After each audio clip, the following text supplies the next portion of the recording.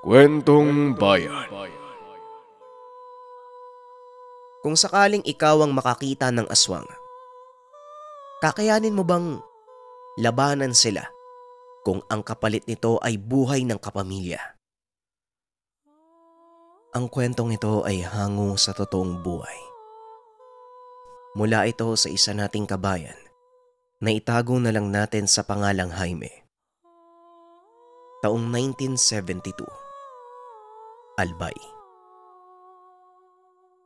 Ay nako, ilang oras na naman ako mag-aantay dito ah. Mag-isa na naman ako dito sa balon. Sabi ko na eh, mahuhuli na naman tong si Badong. Kahit kailan talaga hindi na nagbago tong pinsang ko na to. Palagi na lang huli sa lahat ng bagay. Wika ni Jaime. 17 anyos ng mga sandaling iyon. Biyernes ng umaga habang nasa isang balon, nag-iigib ng maiinom na tubig. Inaantay niya si Badong dahil maunguha sila ng mga tabagwang o yung susu sa batis malapit sa pinag-iigibang balon. Nag-aalala ang binata dahil pagpatak ng tanghali wala na silang maaabutan. Lumalabas lang ang mga suso tuwing malamig ang panahon at sa oras na makaramdam ng init, bumabalik na ito sa butas ng batuhan sa batis.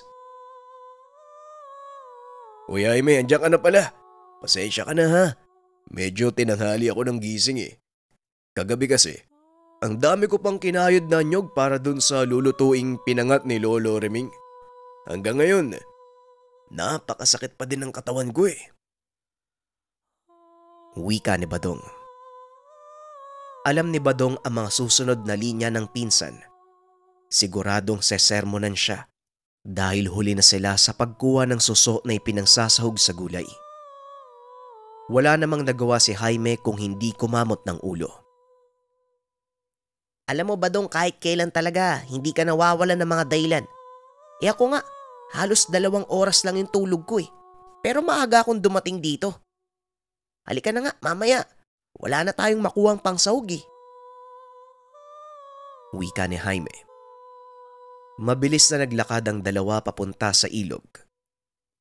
Mabuti na lang nang makarating doon.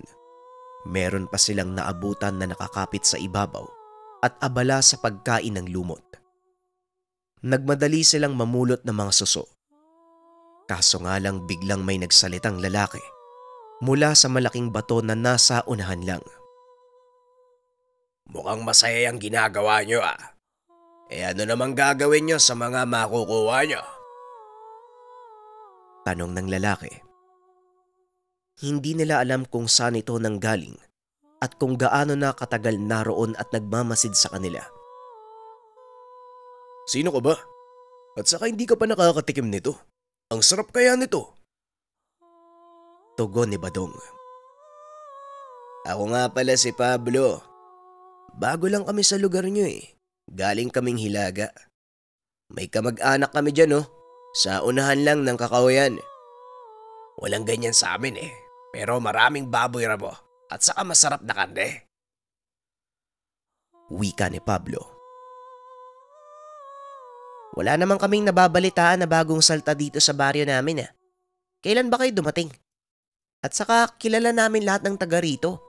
Sino bang kamag-anak nyo? Tanong ni Jaime na tila nagdududa sa sinabi ni Pablo. Dahil sa narinig na tigilan ang lalaki hanggang sa biglang sumingit si Badong. Teka, kung nasa dulo kayo ng kakawayan, posible kayang si Mang Danilo ang kamag-anak nyo. Eh siya lang naman yung nag-iisang nakatira dyan sa kabila eh.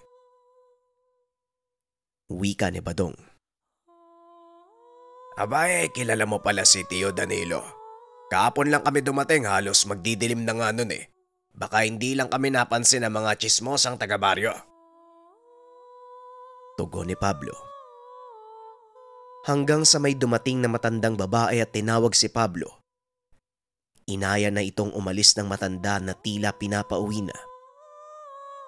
Hindi naman na nagsalita pa si Pablo. Tinignan lang ang magpinsan habang nangunguha ng suso. Hindi ko alam na may kamag-anak pala si Mang Danilo. Akalain mo yun? Saan kaya sila galing? Saang probinsya? Hoy, Padong, bilisan mo na nga dyan. Baka hinahanap na ako nila nanay. Wika ni Jaime. Eh malay mo naman malayong kamag-anak. Balita ko madalas nang nagkakasakit si Mang Danilo eh. Kaya siguro pinuntahan ng kamag-anak ng maalagaan. O ito, puno na yung lalagyan ko. Mabuti pa umuwi na tayo. Nagugutom na ako eh.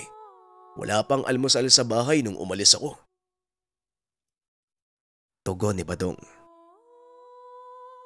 Nang makauwi ng tahanan, kagad nang nilinisan ni Jaime ang mga nakuwang pangsahod habang nakikipag-usap sa ama. Tay, may mga bagong salta pala dito sa baryo. Nakausap namin kanina si Pablo kamag-anak daw ni Mang Danilo. At saka yung medyo masungit na matandang babae. Wika ni Jaime. Eh siguro nga, Malala na ang sakit ng matanda. Hindi ko na nga nakikita yun na bumababa sa bayan eh. Ay nako, kawawang Danilo. Mabuti naman nariyan ang mga kamag-anak niya para matulungan. O siya, bilisan mo na nang makakain na tayo. Ang ate Linda mo, kanina pa naghahanap ng suso. Hindi ko naman maintindihan dyan kung bakit napakalaki ng tiyan. E akala mo naglilihi pa din. Wika ng ama. Naroon sa kanilang pangalaga ang kapatid ni Jaime na si Ate Linda, kasalukuyang pitong buwang buntis. Ang asawa nito ay nadestino sa Maynila dahil sa trabaho at buwanan lamang kung makauwi. Bagamat may sariling tahanan, mas minabuti ng mga magulang na doon muna patuloyin para mabantayan ang pagbubuntis. Dalawang buwan na itong hindi matahimik sa sariling tahanan dahil sa gabi-gabing pagbisita ng tiktik. Walang humpay sa paghuni at pagkalmot sa yerong bubong ng tahanan. Hayaan nyo na po si ate tay. Ang mahalaga, malusog ang magiging pamangking ko. At isa pa po, panganay na apo nyo po yan. Wika ni Jaime. Pagsapit ng hapon ng araw na yon, Nagpunta si Badong sa tahanan dala ang pinangat na luto ng lolo. Magandang hapon po, Tiyo. Ah, pinangat po. Pinapabigay po ni Lolo Reming. Uy, Jaime, may balita ako sa'yo. Wika ni Badong. Nilapag niya ang ulam sa mesa at hindi na inantay pa ang sasabihin ng tsuhin. Nabalitaan mo na ba yung usap-usapan dun sa baryo? May aswang daw na gumagala sa kabilang barangay. Kagabi ah, may dalawang lasing na nagkataong pauwi galing sa lamay eh. May nakitang babae sa may purok. Nilapitan ng dalawa kaso nung humarap sa kanila. Eh, nagunahan sa pagtakbo yung dalawa. Puro dugo daw yung muka eh. At saka may nilalantak ang kambing. Ewan ko lang kung totoo ah. Pero di ba, matagal mo nang gustong makakita ng aswang? Wika ni Badong sa pinsan. Hmm, oo naman. Gusto ko malaman kung totoo ba talaga yung mga aswang na yan. Kagaya ng gumagambala kay ate. Pag nakakita ko niyan, siguradong mata lang niya ang walang latay. Pero kasi lasing yung nagkwento eh. Malamang baka may nakita lang na kung ano. Kita mo si Tio Nanding kapag nalalasing, nakakakita ng kalabaw na kumikembot sa sagingan. O di ba? Maniniwala ka ba doon? Wika ni Jaime. Napatango na lang si Badong. Pero kahit ganon, nasa akin pa din naman yung buntot pagi na regalo sa akin ni Lolo. Malay natin, isang araw magamit ko din to. Puno nga lang ng alikabok, nakasabit lang eh. Wika ni Jaime. Si Lolo Reming ay ordinaryong matanda. Ngunit marami itong kaibigang mga antingero at albularyo. Isa sa mga pinagkatiwala sa matanda ang antigong buntot pagi. Ayon kay Lolo Reming, daang taon na ang gulang nito, ngunit hindi pa rin kumukupas ang itsura. Dagdag pa ng lolo, ginamit niya ito nung panahon ng Kastila upang labanan ang mga aswang sa bayan. Ay sus, yan na naman kayo sa aswang-aswang na yan eh. Merkules ngayon ha. Alam niyo ba ang sabi ng lolo niyo? Kapag gantong araw malakas ang pandinig ng mga aswang. Pinapakinggan nila ang mga taong pinag-uusapan sila. Sige kayo, mamaya ay bisitahin kayo niyan. Wika ng ama. Imbis na matakot, inulit pa ni Jaime ang pagtawag. Ah, ganun po ba, tay? Sige nga nang masubukan natin. Hoy, kung nakikinig kayo mga aswang, sumugod kayo dito nang makatikim kayo. Wika ni Jaime. Para kay Badong biro lamang ang sinabi ng tatay ni Jaime.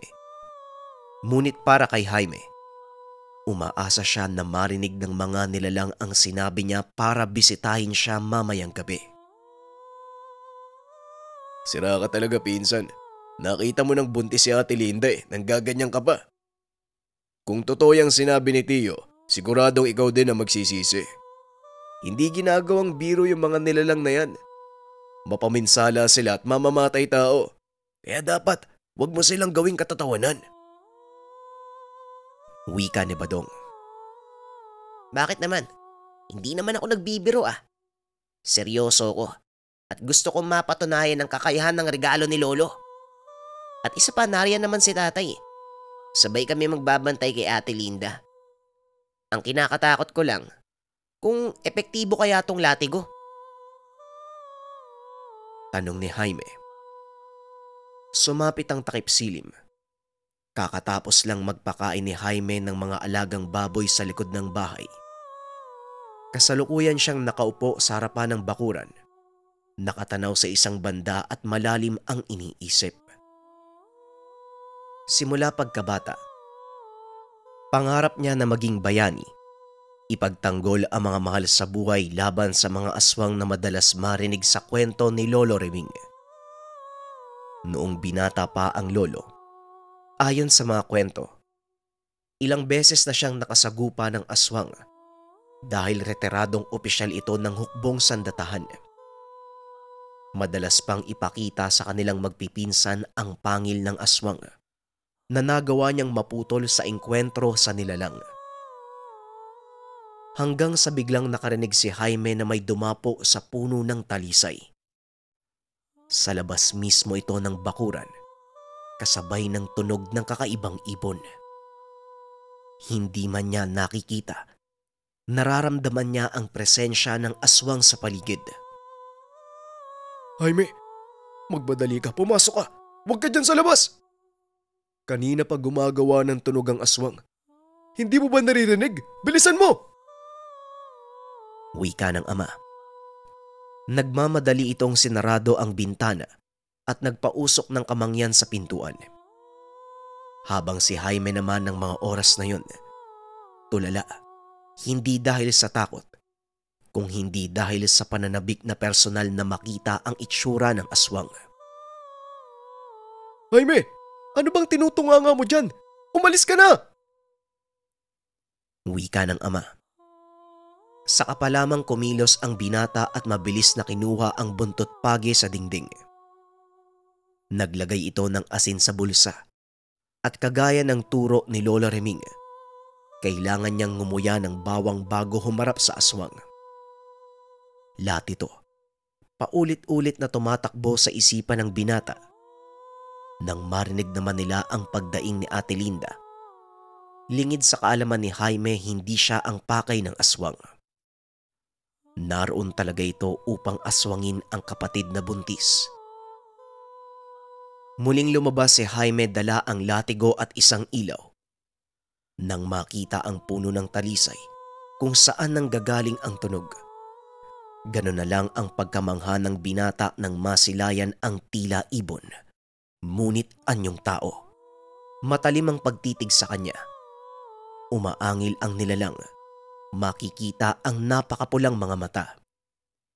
Ngunit imbis na matakot, hinamon pa ito ni Jaime na bumaba nang magkasubukan sila. Ano? Magtititigan na lang ba tayo o susugod ka? Wala kang mapapala sa kakatitig mo sa akin. Wika ni Jaime. Buong tapang na hinamon ng aswang. Makikita sa mukha ng aswang na nabigla at may pagkalito. Tila ngayon lang ito nakainkwentro ng tao na mas matapang pa sa kanya. Kaso nga lang, hindi nagpatinag ang aswang. Pinaunlakan ang hamon ng binata. Bigla itong lumundag papasok sa bakuran nila Jaime at sinugod ang binata. Ipinangharang ni Jaime ang dalang ilaw, kaya medyo napaatras ang nilalang. Kasabay nito, nagsaboy siya ng asin sa mukha ng nilalang. Umangil ito ng napakalakas. Ang lakas ng loob mong maggamon. Sisiguraduhin kong mamamatay ka. Kasama ng kapatid mo. Wika ng aswang. Muli itong subungod. Subalit hindi nito napansin ang hampas ng buntot pagi. Tinamaan siya sa muka kasunod ng paglatay ng latigo sa dibdib. Aba tignan mo nga naman oh.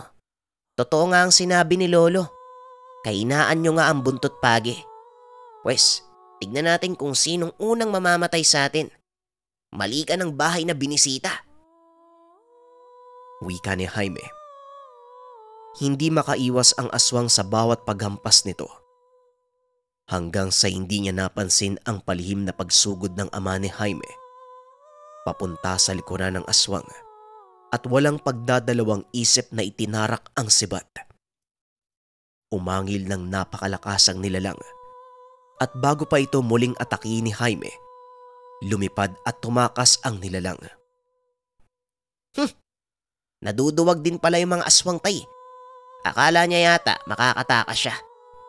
Pamilyar sa akin yung boses ng aswang na yun eh. Kung hindi ako nagkakamali, kahit isang beses ko pa lang siyang nakausap. Sigurado kong si Pablo ang aswang. Yung kamag-anak daw ni Mang Danilo. Wika ni Jaime habang nakatitig sa kanya ang ama. Hindi nito lubos maisip na hindi pala nagbibiro si Jaime at totoong handa siyang makipagsabayan sa aswang. Tay, samahan niyo po ako bukas. Pupunta tayo kay Lamang Danilo. Siguradong naroon yan si Pablo Nagpapagaling yan. Wika ni Jaime. Pagpasok ng tahanan humupa na ang sakit na nararamdaman ni Ate Linda. Pagsapit ng umaga, pumunta si Jaime sa bahay ni Badong. Kasama ang ama, si Badong, kapitan at iilang kabarangay pinunta nila ang tahanan ni Mang Danilo.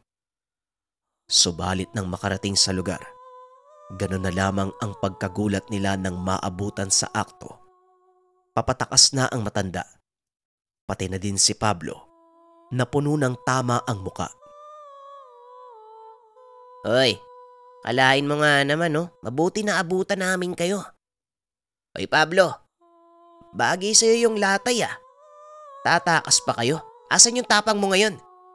Siguradong kasabot mo si Mang Danilo ano? Tama ba ako? wika ni Jaime. Subalit nagulat sila na kahit umaga, may kakayahang magpalit ng anyo ang mga aswang. Kagad itong lumundag sa kakawyan at mabilis na naglaho. Sundan nyo sa kakawyan! Hindi ka agad yan makakalaya. At isa pa, sugatan yung pinata. Siguraduhin yung mahuhuli nyo! Wika ng kapitan. Nagpalit ng anyo sa kanilang harapan ang mga hinahabol. Pasukin natin yung bahay. Malamang nandyan si Mang Danilo. Wika ni Jaime. Nagulat ang mga residente nang makita si Mang Danilo na nasa lamesa ng kusina. Wala na ang dalawang binti. Nakasabit pa ang ulo sa dingding. Makahalata din sa katawan nito na ilang araw ng patay. Nagluksa ang mga taga-baryo sa sinapit ng matanda. Buong buhay ni Mang Danilo wala itong naging kaalitan sa baryo. Madalas nakangiti ang matanda sa tuwing napapadaan sa mga kabayan. Nabigo ang mga residente na maabutan ang mga aswang at hindi na nila ito sinundan pa sa kagubatan. Ganun pa man, itinaas ng kapitan ang seguridad ng baryo nang masiguradong hindi na makakabalik pa ang aswang.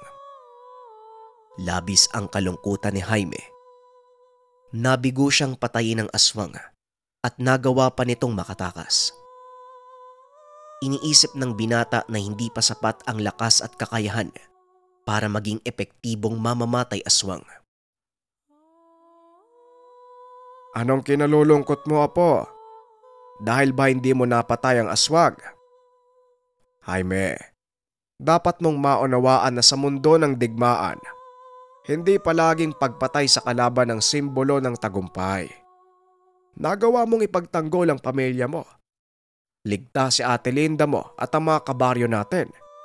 Sapat na yon upang masabi nating nagtagumpay ka. Wika ni Lolo Reming kasama ang pinsang si Badong. Tama naman si Lolo at isa pa pinsan. Huwag mong kakalimutan ng aswang mismo ang sumuko sa'yo. Alam mo ba, pinag-uusapan ka nila sa bayan. Si Jaime, manunugis ng aswang. O ba? Ang ganda ng tawag nila sa'yo. Bagaman napangiti ng kaunti si Jaime, napagtanto na may punto ang mga sinabi ni Lolo Reming at Badong. Ang pinakamahalagang bagay kung bakit niya maging gustong bayani ay may pagtanggol ang mga mahal sa buhay. Dito nag-umpisa ang pagtuklas ni Jaime sa mundo ng mga aswang at nilalang. Ilang taon nang lumipas, nag-edad 25. Naging tanyag na manunugis ng aswang ang binata. Pinanghawakan niya ang bansag sa kanya na manunugis ng aswang.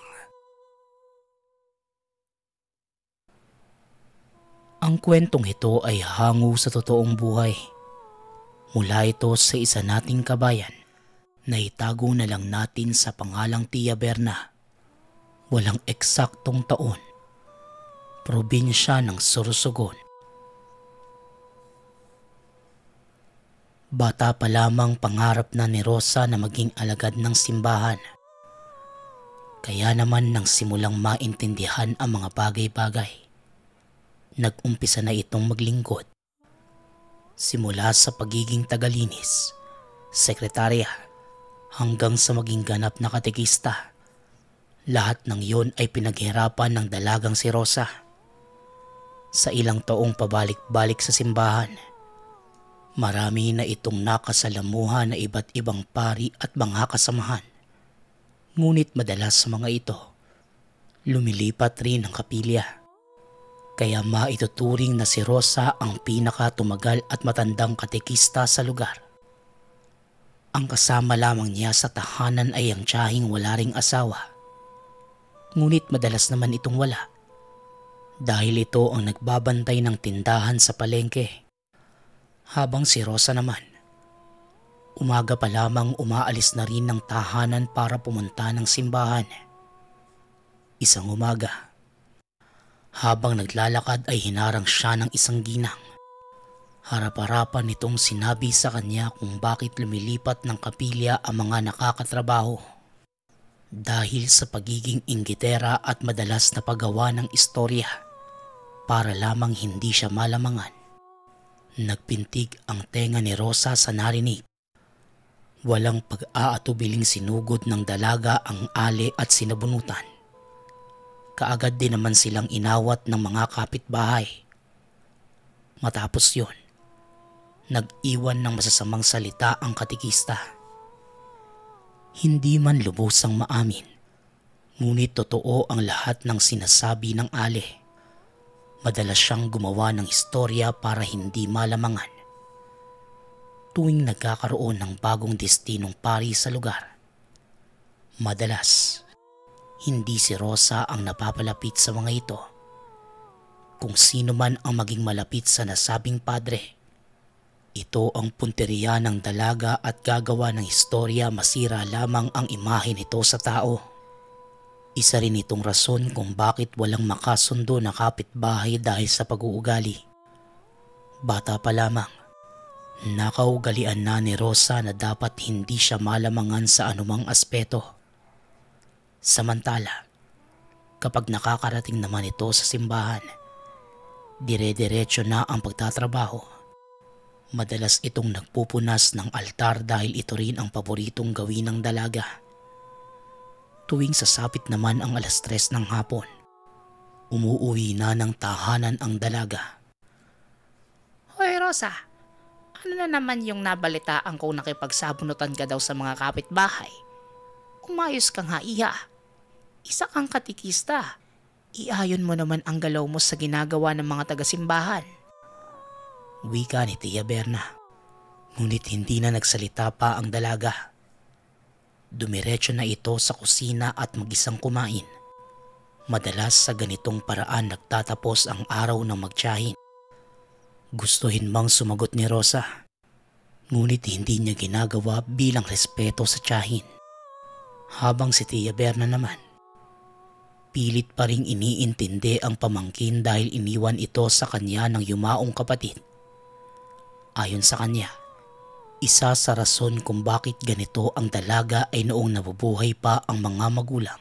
Binibigay ng mga ito kung anuman ang lahat ng gustuhin ng dalaga.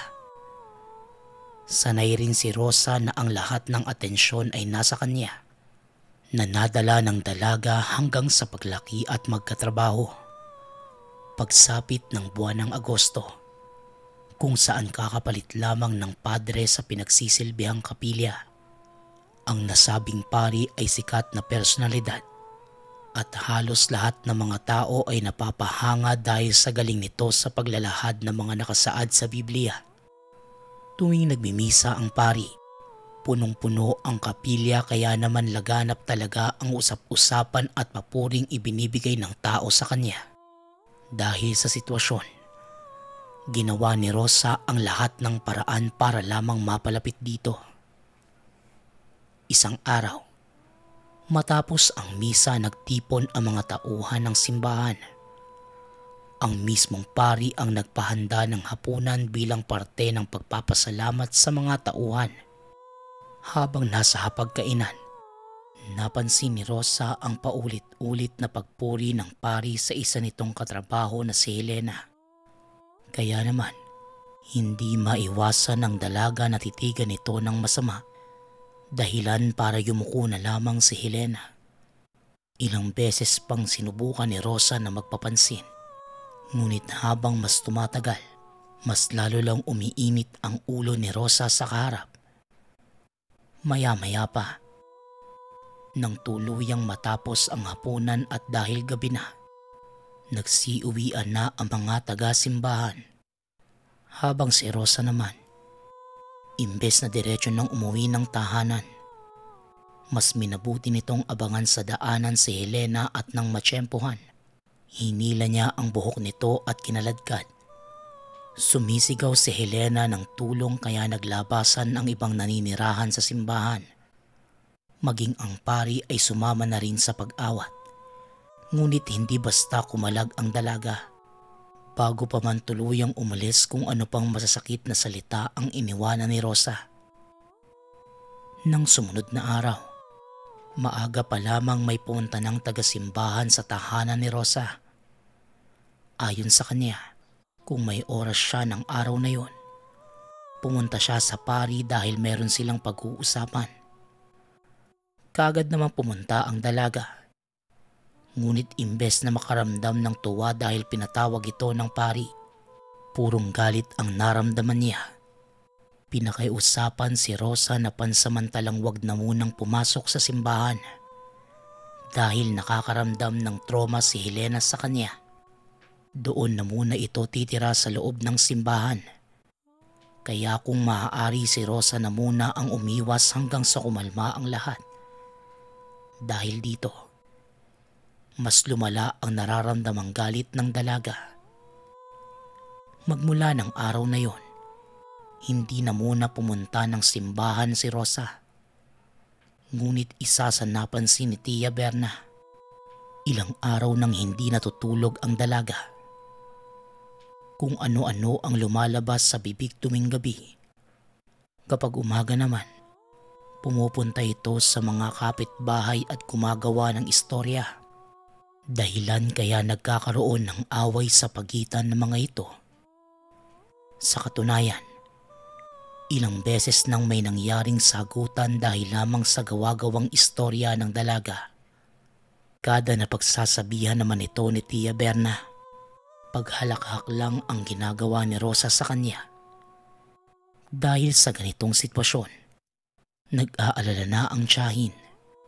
Kaya binalak nitong ikonsulta ang kalagayan ng pamangkin sa isang albularyo. Araw ng biyernes, hindi muna nagtinda ang ale dahil hindi na ito mapalagay sa nangyayari kay Rosa. Kahit paulit-ulit na nagsasabing ayaw ng dalagang pumunta sa manggagamot, kinaladkad pa rin ito ng tiyahin hanggang sa makarating sa tahanan ng matanda. Kaagad na hinawakan ng manggagamot ang mga palad nito at walang pag-aatubiling nagwika ang matanda ng Ang Diablo Ayon sa pagpapaliwanag ng Biblia, ang ama ng mga kasinungalingan gagawin ang lahat upang madaya at mailigaw ang mga tao. Lalo na ang mga taong naghahangad na maging karapat dapat sa Diyos. Isang jablo ang nagmamaniobra sa katawan ng babaeng ito. Nanalo ang paulit-ulit na pagbulong ng demonyo sa kanya. Kaya ngayon, ito na ang nagdidikta ng bawat galaw ng dalaga. Panalangin lang ang mabibigay ko para sa kanya. Siya lamang ang makakapag-alis ng nilalang sa sariling katawan. Magiging labanan nito sa pagitan ng sarili at sa dikta ng nilalang. Wika ng manggagamot. Dahil dito mas nag-alala si Tia Berna. Dagdag pa ng albularyo Gabayan na lamang ang dalaga lalo pat madalas itong makarinig ng mga bulong. Kung kakayanin nararapat na mabigyan ito ng mga payo patungkol sa mga salita ng Diyos. Ang mga salita na nanggaling sa Biblia lamang ang makakapagpabalik sa dalaga. May ibinigay naman na libreta ang albularyo kay Tia Berna. Ayon dito, ito ang maaaring gawin ni Tia Berna sa tubing nadadaig ito ng nilalang. Matapos naman ang kaunti pang pag-uusap ng dalawa, umuwi na ang mutyahin. Pagkarating sa tahanan, kaagad na binuklat ng tiyahin ang libreta at dito nakita ang imahe ng Diablo. Kahit hindi pa nagbabasa, nakakaramdam na ng kilabot ang tiyahin. Hindi na niya muna ito inusisa at kinausap ng masinsinan ang dalaga. Sa pakikipag-usap, may mga pagkakataon na hindi na nakikita pa ni Aling Berna ang sariling pamangkin. Kung paano ito magsalita at mismong mga sinasabi. Ibang iba na ito sa nakilalang pamangkin.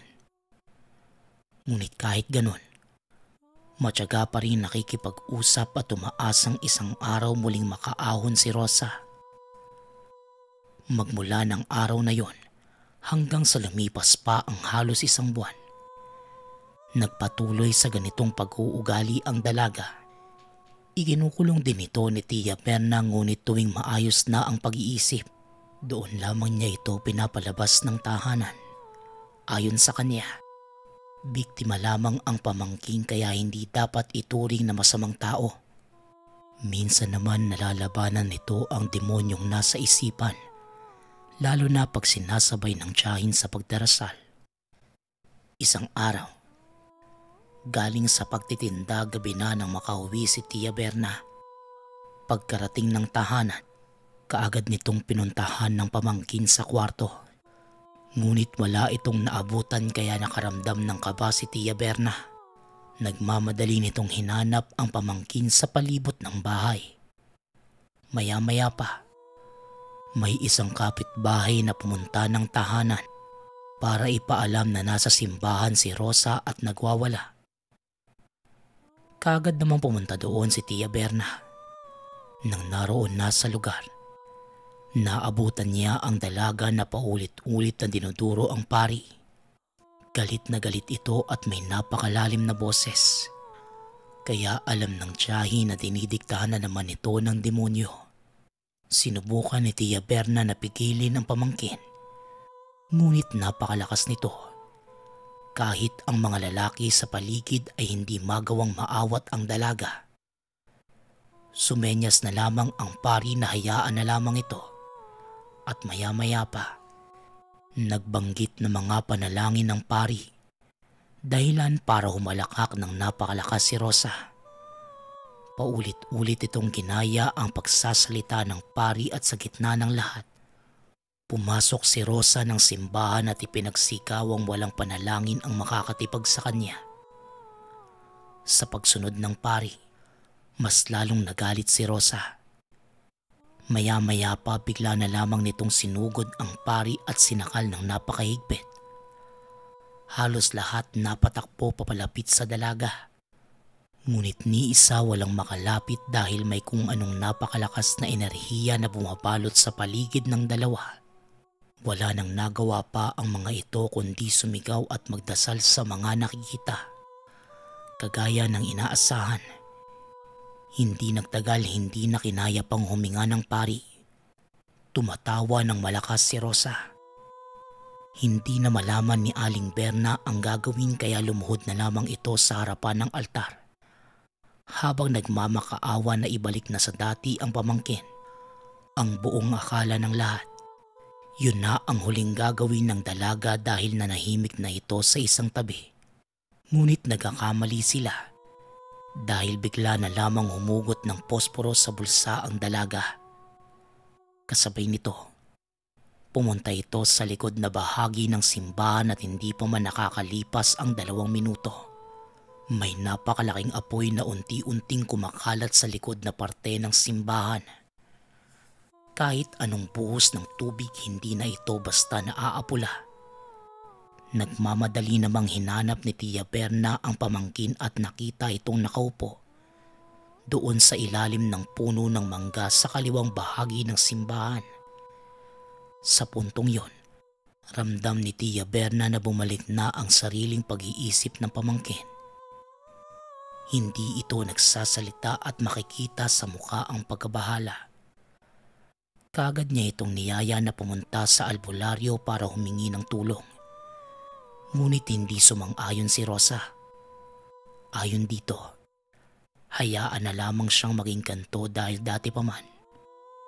Bago pa man mangyari ang lahat nakita at mismo nakausap na ang naturang Diablo.